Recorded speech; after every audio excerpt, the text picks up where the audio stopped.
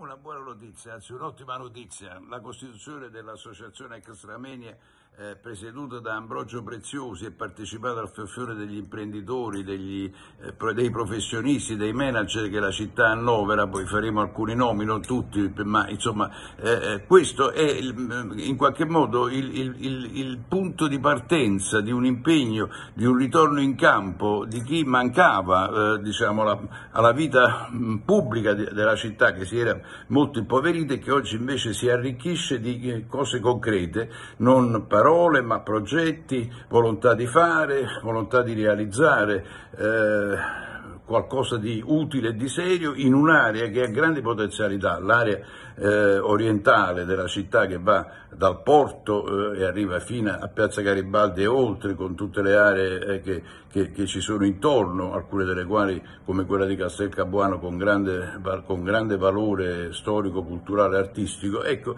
quello che è, è, avvenuto ieri è un fatto importante perché è come se insomma, desse l'idea che si è rimesso in moto qualcosa in questa città che invece eh, eh, dire, aveva scelto di sopravvivere. No, eh, questo atto dà il segno di eh, qualcosa che si muove, si muove nel mondo imprenditoriale in questa associazione, come dicevo, oltre a Prezioso sono impegnati eh, in, industriali importanti, Graziano della Magnaghi, Lettieri della Titec, Scudieri, il presidente dell'associazione costruttori Brancaccio, il presidente del, de, de, dell'azienda di trasporto della metropolitana Cascetta, eh,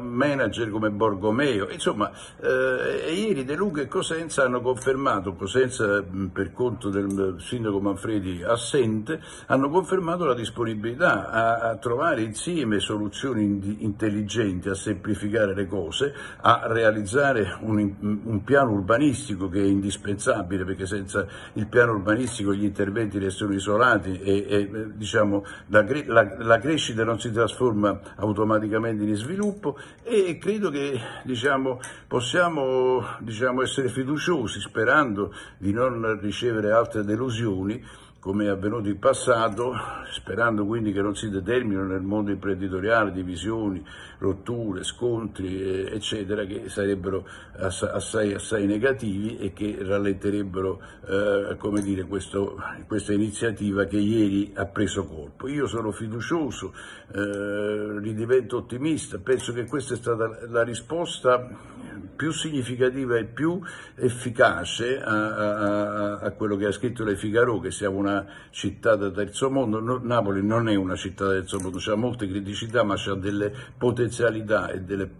quindi possibilità concrete di diventare quello che già nei fatti è eh, trasformandosi adeguatamente una grande metropoli, eh, una grande e importante metropoli non solo del mezzogiorno d'Italia ma del mezzogiorno d'Europa.